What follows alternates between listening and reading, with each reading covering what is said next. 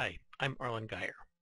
Today I want to talk about some things you can do with keywords.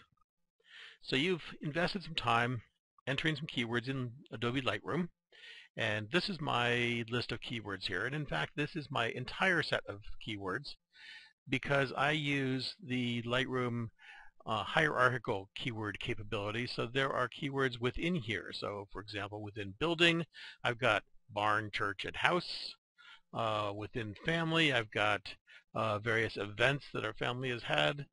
And um, within, say, portrait, I've got uh, the names of the people I've done portraits of. And so these primary categories are really just uh, the tip of the iceberg, and most of my keywords are buried within there. So let's say, for example, we want to look at uh, buildings. One of the nice things about hierarchical keywords is I can look at all of the photographs that have um, any of the keywords of barn, church, or house by looking at the keyword building.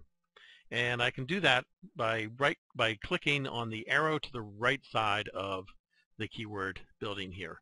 And now you're seeing all the photographs that have been keyworded with any of these with, with building or any of the subsets of building. And if I want to look at all the barns, I can click on the little arrow to the right of that.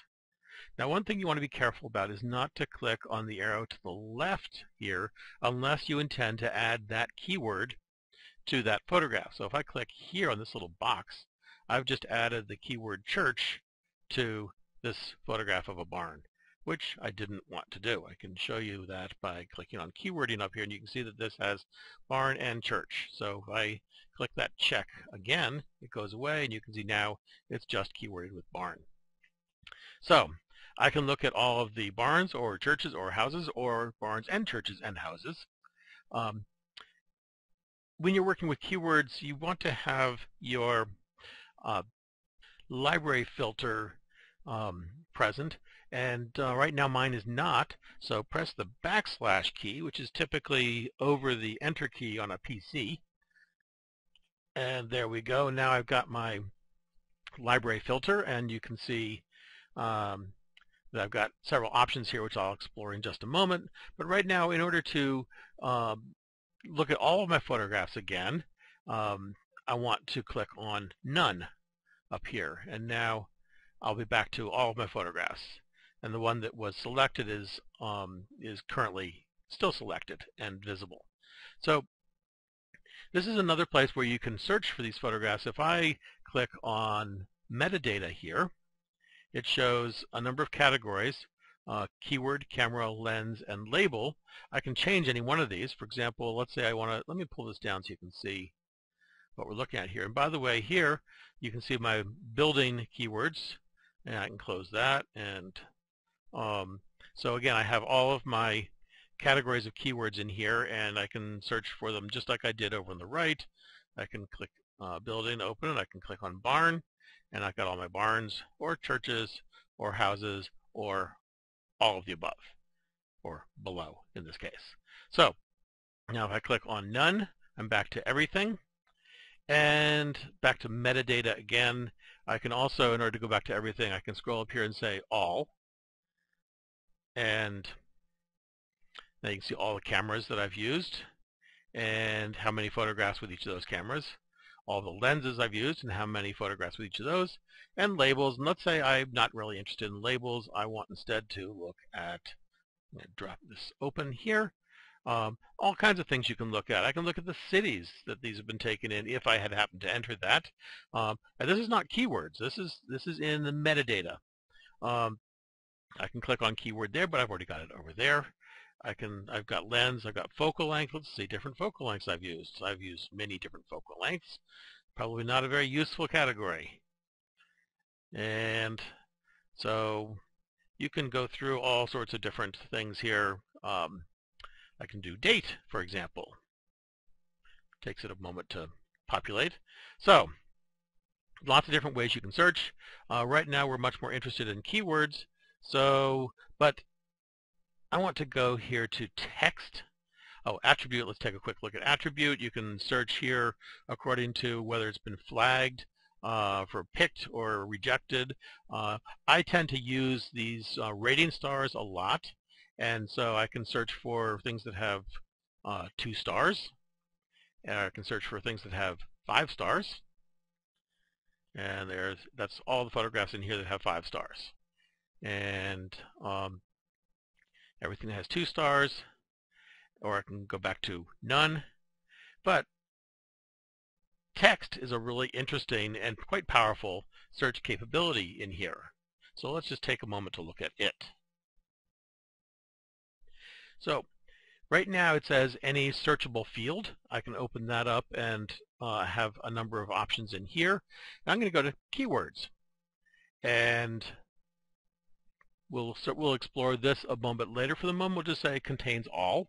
And uh, here's some photographs down here of my dog Tigger. Tigger is no longer with us, but his photographs are. So we'll look for everything that contains Tigger. And here are all my photographs of him. So quite a few of them. And let's see, Tigger, um, let's look for all the photographs that contain Tigger and that were taken in the uh, here are a couple of him in the Biltmore estate over in Asheville. So let's look at Tigger and the Biltmore estate.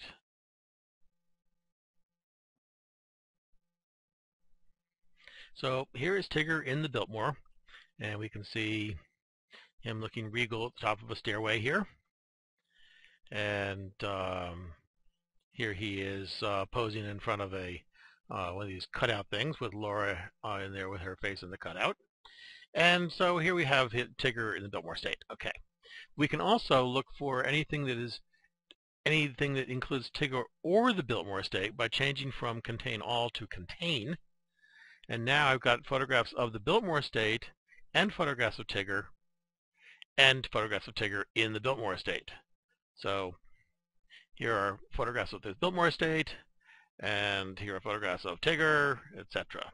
So uh, if you want to see um, these plus those, you do contain. If you want to see these uh, only where the two are uh, combined, for example, Tigger in the Biltmore estate, um, then I would do contain all.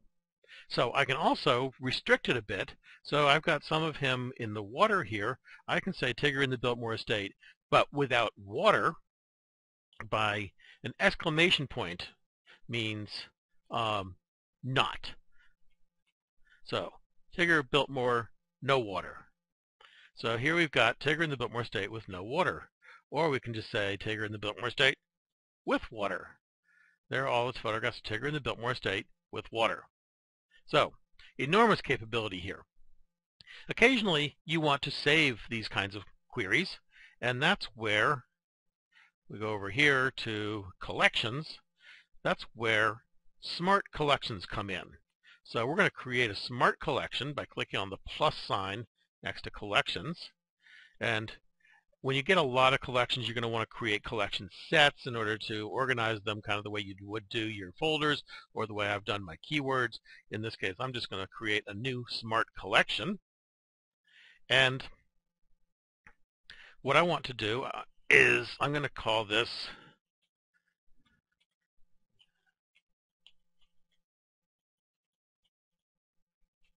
Tigger in the Biltmore Estate without water.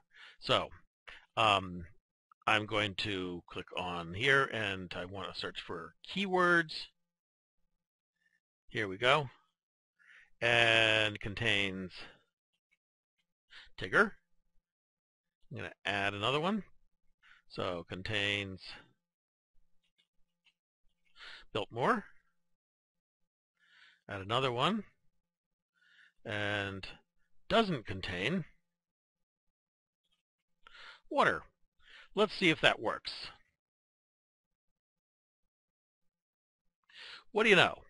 So we've got built in the built Tigger in the Biltmore without water.